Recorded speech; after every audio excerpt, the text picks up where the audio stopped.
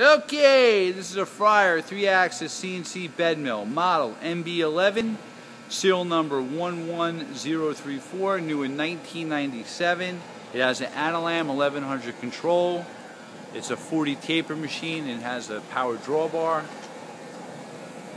It can be operated also with manual hand wheels, which are not on the machine right now. Uh, that's some the tooling package that goes with it. The uh, CRT has been replaced and upgraded with a new LCD uh, flat panel screen, uh, box ways, and that's about it. We're going to run it for you.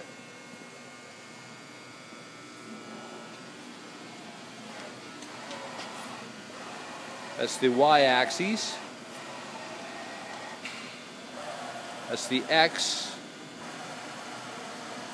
Again, he's doing that. I'm going to show you on the control. Do the Y again. Y. And lastly would be the Z. Let me show you that while he does it too. This is a boxway machine. See the boxway is there, ball screw, there's your servo motor on top for your Z. Gonna run the, the quill up and down. Quill's nice and clean. You also have three axis power feed on the quill, but not through the control, but you know, like a Bridgeport style. Just gonna run the spindle. That's in uh, what, low range? High range. I had a 50-50 chance. Okay. Middle. Middle of the high range. I stop, brake. He's moving it into low gear. That's low gear.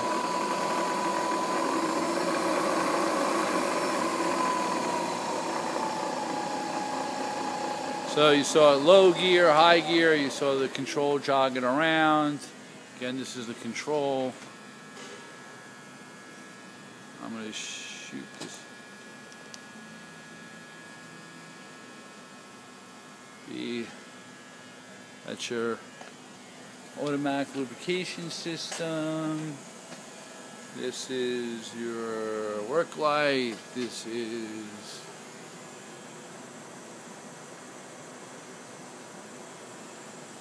serial number.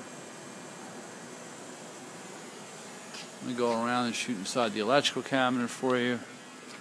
Again, that's your package of tooling. Oh, I can't get around this way. I'll go this way.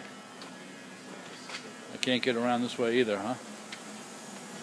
Nope, I can't get around this way either. Hmm. I'm going to hand this over to my man Sean. He'll look inside.